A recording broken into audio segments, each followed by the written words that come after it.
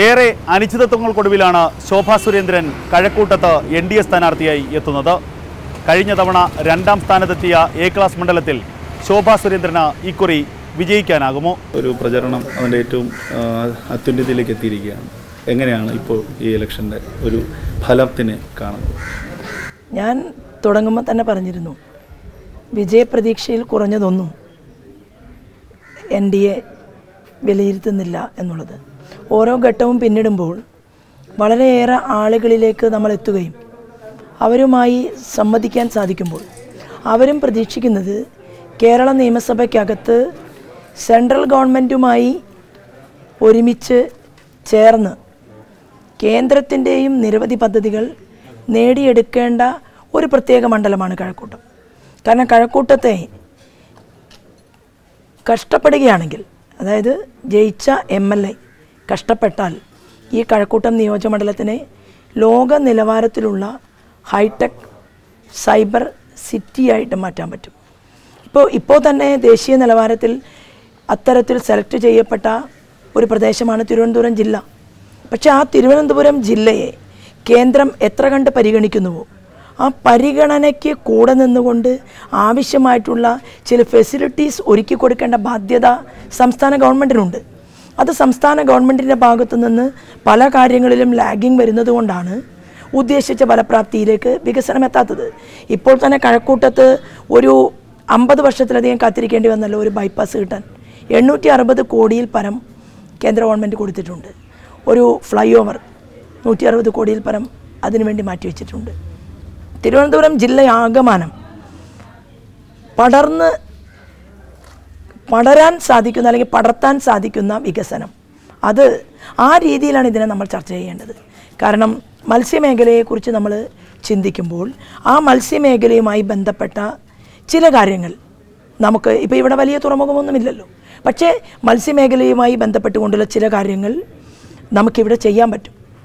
അതിനെ മത്സ്യവിഭവത്തെ പ്രോസസ്സ് ചെയ്യാൻ അത് സ്റ്റോർ ചെയ്യാൻ ആ മേഖലയുമായി ബന്ധപ്പെട്ടുകൊണ്ട് ജീവിതം നയിക്കുന്നവർക്ക് അവരുടെ ജീവിതത്തിൽ അവരുടെ നിലവാരം വർദ്ധിപ്പിക്കാൻ അവരുടെ ജീവിത നിലവാരം വർദ്ധിപ്പിക്കാൻ അവരെ സമൂഹത്തിന്റെ മുഖ്യധാരയിലേക്ക് കൊണ്ടുവരാൻ ഇതെല്ലാം ഒരു സൈഡിൽ നടക്കണം.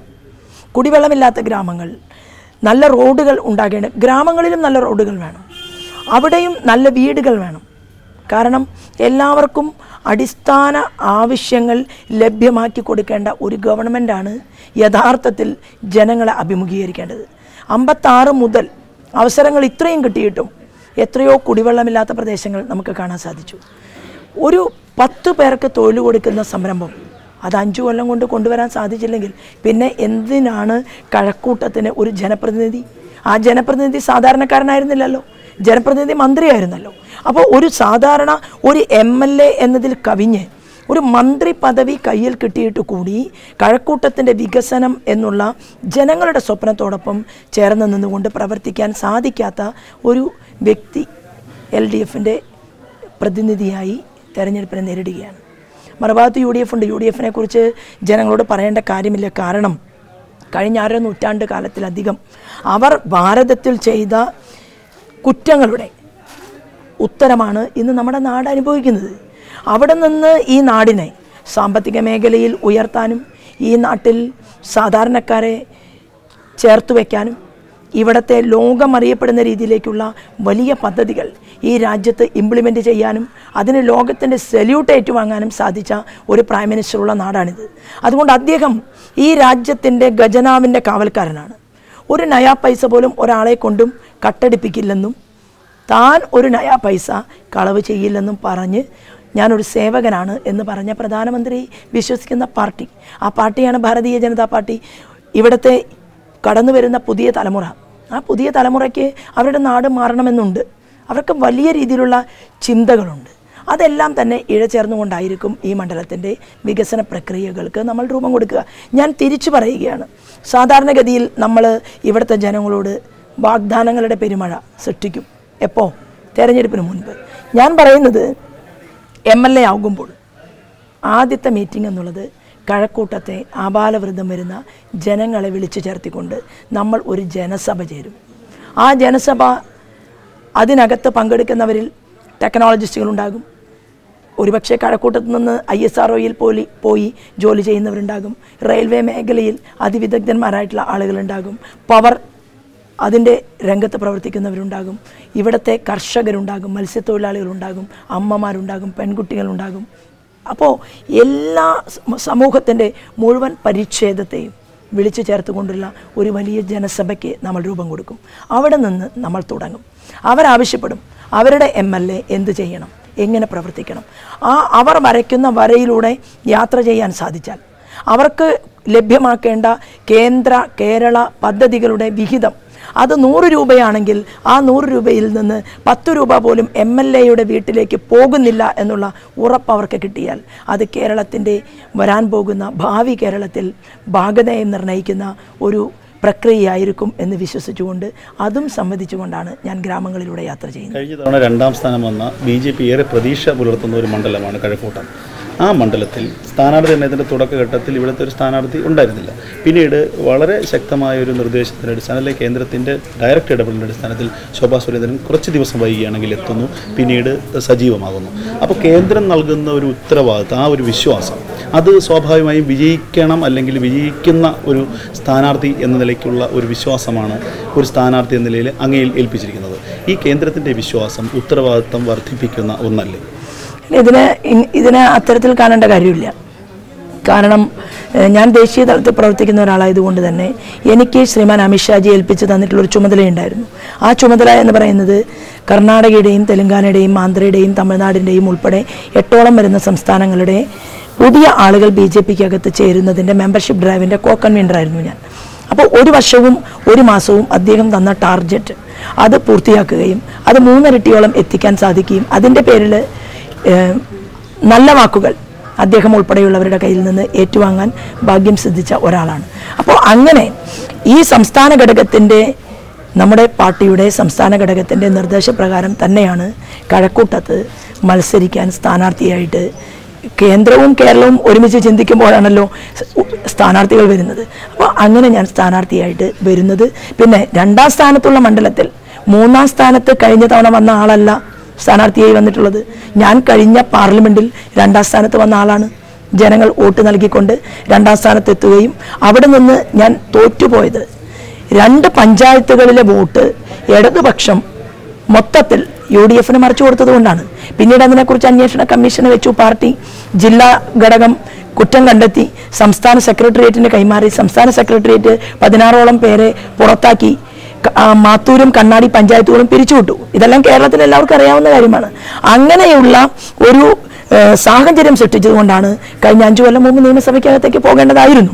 ഞാൻ ഉൾപ്പെടെ ഏഴു പേർ രണ്ടാം സ്ഥാനത്ത് വന്നതാണ്. അപ്പോൾ ഒരു വലിയ മാറ്റം കേരളത്തിൽ സംഭവിക്കുകയാണ്. അപ്പോൾ കഴിഞ്ഞ തവണ രണ്ടാം സ്ഥാനത്ത് വന്ന ഇടതുപക്ഷത്തിന്റെ എൽ ഡി എഫിന്റെ കുതികാൽ വെട്ടലിലൂടെ അവരുടെ സഹായം അഭ്യർത്ഥിച്ച യു ഡി എഫിന്റെ ജനാധിപത്യത്തെ അതിൽ പണാധിപത്യം ഉണ്ടായിരുന്നു. ജനാധിപത്യത്തെ പണാധിപത്യം കൊണ്ട് അട്ടിമറിച്ച ആ ഒരു സംഭവത്തെ നേരിൽ കണ്ട കേരളത്തിലെ ജനങ്ങൾ ഇത്തവണ തീരുമാനിക്കും ശോഭ കേരള നിയമസഭയ്ക്കകത്ത് പോട്ടെ എന്ന്.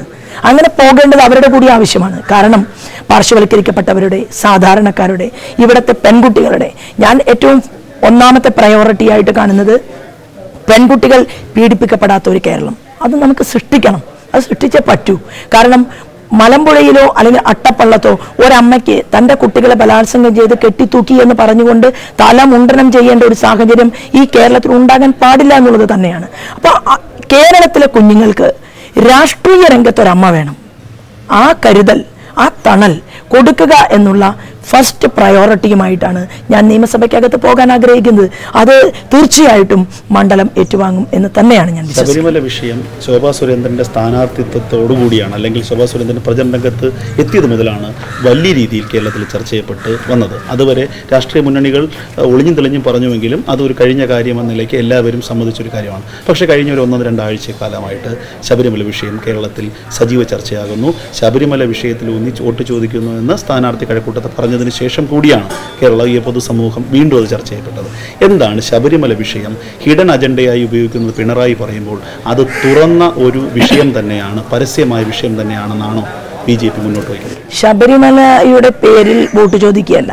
പക്ഷെ ശബരിമല എന്ന് പറയുന്ന ആ പരിപാവനമായിട്ടുള്ള ഞങ്ങളുടെ എല്ലാം വിശ്വാസത്തെ ഹനിച്ചുകൊണ്ട് തേജോവധം ചെയ്തുകൊണ്ട് അവിടെ ഏറ്റവും കൂടുതൽ ക്രൂരത നടത്തിയ പതിനാറായിരം പേർക്കെതിരെ കള്ളക്കേസെടുത്ത എനിക്കുൾപ്പെടെ നൂറ്റി ഇരുപത്തിനാല് കേസുകൾ ചാർത്തിത്തന്ന.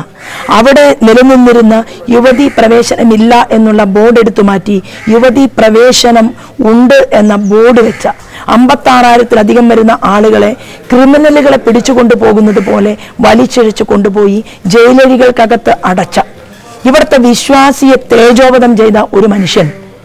ഏറ്റവും കൂടുതൽ ശബരിമലയിൽ തെറ്റു ചെയ്ത ഒരു വ്യക്തി ഇവിടെ തെരഞ്ഞെടുപ്പിൽ മത്സരിക്കുകയാണ്.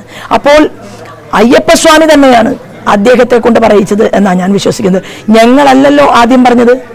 ഈ ശബരിമലയെ കുറിച്ച് ഏറ്റവും ആദ്യം അതിനെ രാഷ്ട്രീയവൽക്കരിച്ചുകൊണ്ട് സംസാരിച്ചത് ഈ കടകംപള്ളി സുരേന്ദ്രനാണ്. അദ്ദേഹത്തിന് അത് പറയേണ്ടി വന്നു എന്ന് പറഞ്ഞാൽ ഞാനൊക്കെ വിശ്വസിക്കുന്നത് അത് അയ്യപ്പന്റെ നിയോഗം തന്നെ ആണ് എന്നുള്ളതാണ്. അപ്പോൾ കഴിഞ്ഞ കാലങ്ങളെല്ലാം മറക്കണം എന്ന് തീരുമാനമെടുത്തുകൊണ്ട് തീറ്റൂരം ചാർത്തിയാൽ കേരളത്തിലെ ജനങ്ങൾക്ക് അത് മറക്കാൻ സാധിക്കില്ല. അതിനുള്ള മൗഢ്യവും ഇവിടുത്തെ ജനാധിപത്യ വിശ്വാസികൾക്കില്ല. ഒരു വ്യക്തിക്ക് അധിക കാലം എല്ലാം ഒളിച്ചു വെക്കാൻ സാധ്യമല്ല. കുറേ കാലം കുറേ പേരെ പറ്റിക്കാമെന്നല്ലാതെ എല്ലാ കാലവും എല്ലാവരെയും പറ്റിക്കാൻ സാധ്യമല്ല എന്ന് ശ്രീമൻ കടകംപള്ളിയുടെ പ്രവർത്തനം കൊണ്ട് ഇവിടുത്തെ ജനങ്ങൾക്ക് ബോധ്യപ്പെട്ടിട്ടുണ്ട്. കേരളത്തിൽ ആകമാനമുള്ള വിശ്വാസികൾക്ക് വേണ്ടി നിലകൊള്ളേണ്ട വ്യക്തി അവരെ ചതിച്ചതുകൊണ്ടാണ് ഇക്കാര്യങ്ങൾ കൂടുതൽ ചർച്ചയാകുന്നത്. ഇപ്പൊ ശോഭാ സുരേന്ദ്രൻ വന്നു എന്നുള്ളത് കൊണ്ടല്ല. ഞാൻ ആ സമരത്തിന് നേതൃത്വം കൊടുത്ത ലക്ഷക്കണക്കായിട്ടുള്ള ആളുകളിൽ ഒരാൾ. എന്നാൽ ഞാൻ പറഞ്ഞിട്ടുള്ളതും അതുപോലെ തന്നെ ഈ മേഖലയിൽ പ്രവർത്തിച്ചിട്ടുള്ളതും അത്രയും. വിശ്വാസി സമൂഹത്തിന് വേണ്ടി.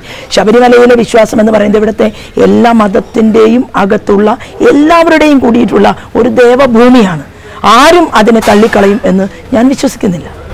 മുൻപത്തേക്കാൾ ലാസ്റ്റ് ചോദ്യം. മുൻപത്തേക്കാൾ ഏറ്റവും കൂടുതൽ സ്ത്രീ സംവരണം തിരഞ്ഞെടുപ്പിൽ ചർച്ച ചെയ്യപ്പെട്ട ഒരു മേഖലയാണ് അവിടുന്ന് പോലും അങ്ങനത്തെ ഒരു ചർച്ചയപ്പെട്ട ചർച്ച കേട്ടുകയാണ് കേട്ട് കാണും അപ്പോൾ ഇത്തരത്തിൽ സ്ത്രീ സംവരണം സ്ത്രീകൾക്ക് വേണ്ടത്ര പ്രാധാന്യം കൊടുക്കാത്തൊരു സാഹചര്യം രാഷ്ട്രീയത്തിലുണ്ടെന്ന് കരുതുന്നുണ്ട്? അല്ല സ്ത്രീക്ക് കുറെ കൂടി അംഗീകാരവും കുറെ കൂടി പദവികളും നിയമനിർമ്മാണ സഭയ്ക്കകത്ത് റോളും വേണമെന്ന് എക്കാലവും വിശ്വസിക്കുന്ന ഒരാളാണ് ഞാൻ. അതിനാരെ മാതൃക കാണിക്കേണ്ടത്? ഇപ്പം ഞങ്ങളൊരു മാതൃക കാണിച്ചിട്ടുണ്ട്. ദേശീയ തലത്തിൽ ബി ജെ പിയുടെ ഭരണഘടന തന്നെ ഒരു ഘട്ടത്തിൽ അമൈൻമെന്റ് വരുത്തിയത് പാർട്ടിക്കകത്ത് മുപ്പത്തിമൂന്ന് ശതമാനം സംവരണം കൊടുക്കാൻ വേണ്ടിയിട്ടാണ്. അതുകൊണ്ട് എന്റെ സഹപ്രവർത്തകർ ഉൾപ്പെടെ കേരളത്തിൽ സംസ്ഥാന ഭാരവാഹികളായിട്ട് മുപ്പത്തിമൂന്ന് ശതമാനം സ്ത്രീകൾ ഇരിക്കുകയാണ്. ബൂത്ത് തലം മുതൽ അഖിലേന്ത്യാ തലം വരെ ഞങ്ങളുടെ കമ്മിറ്റിക്കകത്ത് ഈ പ്രാതിനിധ്യം ഉണ്ട് എന്നുള്ളതാണ്. എന്തുകൊണ്ട് ഈ മാതൃക അമ്പത്തി ആറ് മുതൽ കേരളത്തെ മാറി മാറി ഭരിക്കാൻ അവസരം കിട്ടിയവർ ചെയ്യുന്നില്ല? അവർ ചെയ്യാത്തത് കൊണ്ടാണ് തോൽക്കുന്ന സീറ്റുകൾ കൊടുക്കുക. സ്ത്രീകൾക്ക് അർഹമായിട്ടുള്ള അംഗീകാരം കൊടുക്കാതിരിക്കുക. എത്രയോ വർഷം കരുത്തോടുകൂടി പ്രവർത്തിച്ചിട്ടുള്ള ഒരു സ്ത്രീക്ക് പോലും തലമുണ്ടനം ചെയ്യേണ്ടി വരിക. ഈ ഒരു സാഹചര്യത്തിലൂടെ കേരളം മുന്നോട്ട് പോകുമ്പോൾ പൊതുപ്രവർത്തന രംഗത്ത് പ്രവർത്തിക്കുന്ന മുഴുവൻ പുരുഷന്മാരും അവർക്ക് എന്തായാലും അമ്മമാരെ ഇഷ്ടമാണ് അവർക്ക് അവരുടെ സഹോദരിയെ ഇഷ്ടമാണ് അവർക്ക് അവരുടെ മകളെ പെൺകുഞ്ഞിനെ ഇഷ്ടമാണ്. എന്നാൽ പിന്നെ ഈ കർമ്മ മേഖലയിൽ പ്രവർത്തിക്കുന്ന സ്ത്രീയെ കൂടി അവർ ഇഷ്ടപ്പെട്ടേ പറ്റൂ എന്നുള്ളതാണ്. അപ്പോൾ അത് ഇനിയും കുറെ കൂടി ഉണ്ടാകണം എന്ന് ശഠിക്കുന്നവരുടെ കൂട്ടത്തിൽ തന്നെയാണ് ഞാനും. വെറുതെ മത്സരിക്കാനല്ല വിജയിക്കാൻ ഉറച്ചാണ് ഇക്കുറി ശോഭാ സുരേന്ദ്രൻ കഴക്കൂട്ടത്തേക്ക് എത്തിയത് വിജയിച്ചു കഴിഞ്ഞാൽ സമൂഹത്തിലെ എല്ലാ തലത്തിൽപ്പെട്ടവർക്കും വികസനം എത്തിക്കുന്നതിനുള്ള കർമ്മ പദ്ധതികളും അവർ തയ്യാറാക്കിയിട്ടുണ്ട്. ഗ്രൗണ്ട് റിപ്പോർട്ടർ തത്തുമൈ ന്യൂസ്.